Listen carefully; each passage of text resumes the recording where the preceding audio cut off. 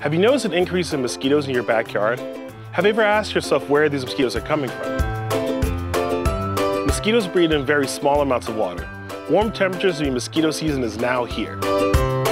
Even small amounts of standing water mean mosquitoes can breed and spread disease. And the risk for most people is in our own backyard. Be observant and take preventive measures by dumping or draining any standing water you find.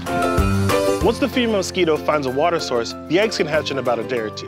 And, depending on the temperature outside, can become adults in as little as six days. The invasive Aedes and Culex mosquitoes live in your own backyard. These are the mosquitoes that transmit dengue, Zika, and West Nile virus. They've adapted to humans so that they're increasing uh, in their concentration in our backyards. So remember, to decrease this concentration, it's important that you dump and drain all standing water in your own backyard.